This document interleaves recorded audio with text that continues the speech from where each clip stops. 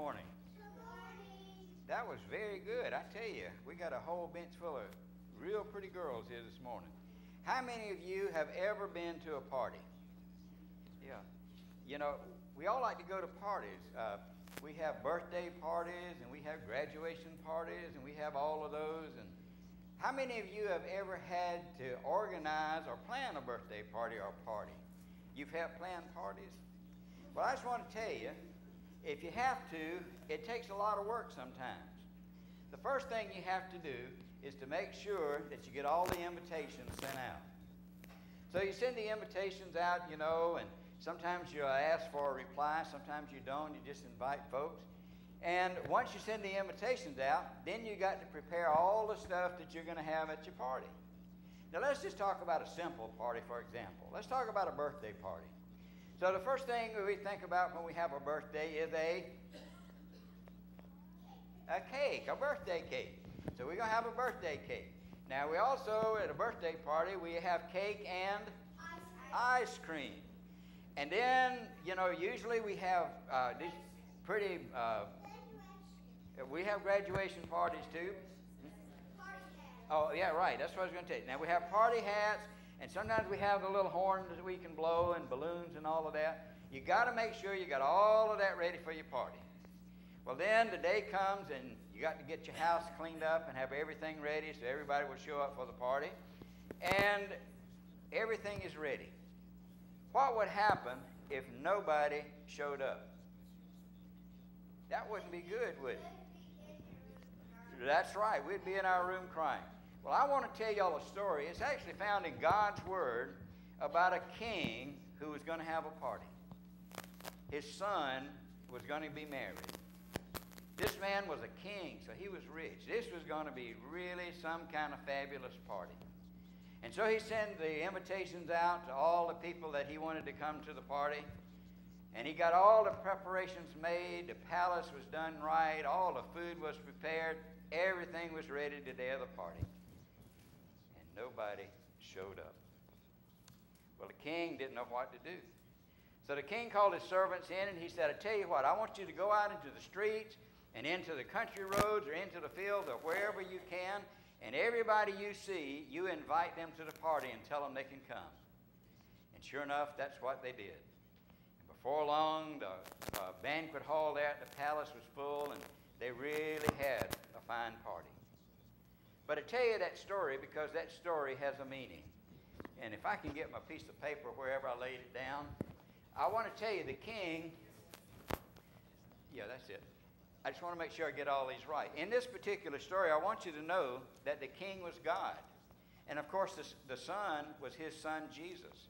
And it tells us that as he sent the people out, we can start way back even in the Old Testament with the prophets that went out, and they wouldn't listen.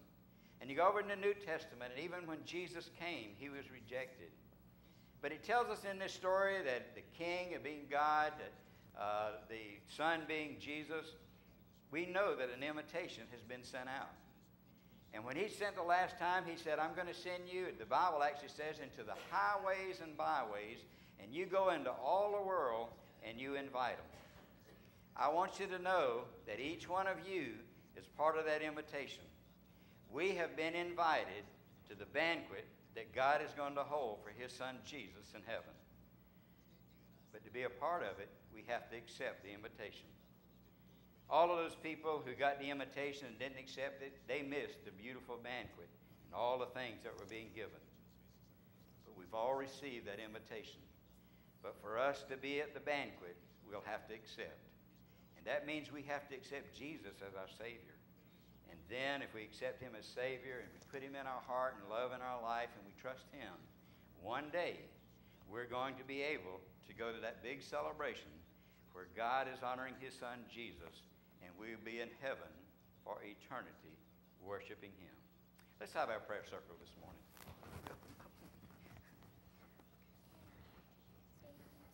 Okay.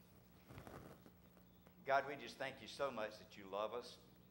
We thank you that you sent us the invitation. And Father, we just pray that we would be worthy to attend, that we have opened our hearts, lives, and minds to you. And Father, we look forward to the day that we can celebrate at that great banquet with you and your Son Jesus. We thank you for our time together here this morning. Bless us and watch over us, for we ask this in your holy and precious name. Amen.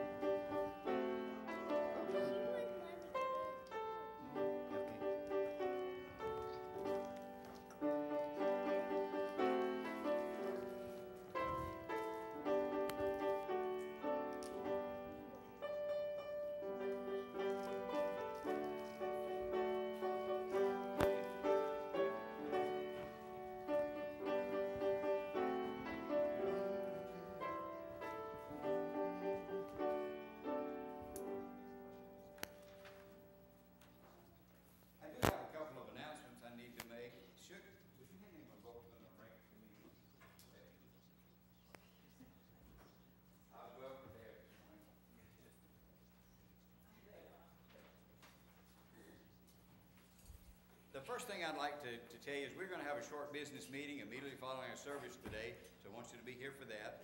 The other thing is we got a full slate of activities coming up this week, and I want you to be aware that on Wednesday, first of all, this one isn't in the bulletin. It's pit cleaning night. We would like for all the men that can to be at the pit up behind Wiz's at five o'clock Wednesday afternoon. It's quite a chore, but the more people we have up there, the easier it is. So I would encourage you, if you can, you be at the pit up there behind Wiz's at five o'clock on Wednesday. It's just one of the rituals we have to go through before we start the barbecue is make sure the pit's clean, the screens are clean, and uh, it's work. I don't mind telling you. Don't wear your Sunday clothes. Bring you some gloves and um, probably ought to use deodorant because you will sweat. Uh, but want you to come and, and to be a part of that as, as we prepare uh, the pit for the barbecue. And then, of course, uh, that night, uh, I don't know, is Deb going to have an activity for our children? If she's not here, I will. Okay, uh, so starting at five, five-thirty or six? Five-thirty, we will have an activity for our children here at the church starting at five-thirty, and then at six o'clock, uh, we'll have a food and fellowship in the back and a season of prayer for the adults. And for the youth are here, Brother Justin will take them across to the Axe House, and we'll have an activity for everybody. I also believe our choir practice this week is here, is that correct? Uh, so our First Baptist will be coming here Wednesday night for our uh, Christmas cantata practice, so we'll be meeting here at the church. I also want you to notice um, next uh, Sunday uh, is a shower, and I'm pretty sure it's going to be across at the Axe House. Is that right, Becky? Um, and just want you to put that on your calendar and support this young couple. But Saturday is a big day in our church, and I've asked you before, everybody put that on your calendar. This is our annual church barbecue. Uh, we're looking forward to that. Uh, I want to tell you that the barbecue has been one of those things that a lot of people at the beginning didn't know that that would be an outreach. But that has been a blessing from God. I want to tell you that we have people calling us now who want to come. They love the barbecue, and it's one way of getting them in our church. We will, we will serve probably uh, over a thousand plates. And as the people come, you know, we've gotten a, good reputation, not only for our barbecue, but for our church, that we're a church that loves this community and is willing to serve. So I want you to come and be a part of that Saturday. We need everybody in the church to be here. There's something you can do. Uh, you can spoon beans or you can do coleslaw, but there's something that everybody can do. And it's a great day of fellowship, so we're looking forward to uh, a, great day here on Saturday as we have our annual barbecue. Uh, a couple other things that are happening on the 24th. The seniors are going to the mountains. Uh, we're going to meet here at the church, going to leave at 9 o'clock, so you can put that on your calendar for the seniors. And also on the 29th, we'll have the Lord's Supper, and we're going to have a, that afternoon, a harvest party for our children. So those are the activities that we have coming up in the near future. Uh, do any of you have an announcement or an emphasis that needs to be made? Donnie, if anybody has a cooker or propane tank, please have it up here Friday. So we use those to cook the string. All right, now just remember, we need the big pots and your, your gas cooker. Yeah, the pots, so, uh, we need, what, six or seven at a minimum? Yeah. Okay, you got them, just bring them. We, we got more than what we can use, that'll be a blessing. okay. But, uh, just bring them and, and leave them behind the church. Now, the bean cookers, uh, the pit crew needs to be here at, the- at, when, Saturday morning? What time? Saturday morning has to be at, at the pit at five o'clock. Okay, so if you're helping at the pit, you need to be here at five o'clock. I think the bean crew, we started about nine, is that right, Homer? And he goes eat some pay I know, I know. That's why I'm asking, but we, we're gonna need some folks here. Uh, Mr. Homer has always been the, the chief bean cooker, and, uh, uh, he's like me. Uh, we're on the downside of the hill, so we'll, we'll need some young backs here to help us with that, and, uh, we're looking forward to it. So again, there'll be a place that you can serve Saturday, so be here. And again, at the pit at five, and the bean cooker's here by nine o'clock. Any, any other announcements? I want to thank Mr. Homer for the lovely flowers that are placed in our sanctuary today, and they're placed in memory of Miss Rosetta Clamp. And Mr. Homer, we thank you so much. Now, y'all, y'all have your back turned. Y'all couldn't see that, but June reminded me. okay, uh, but anyway, thank you, June. Any others? If not, we're going to ask you to join us as we have our offertory selection. We're going to sing "He Keeps Me Singing." Let's all stand. There's within my heart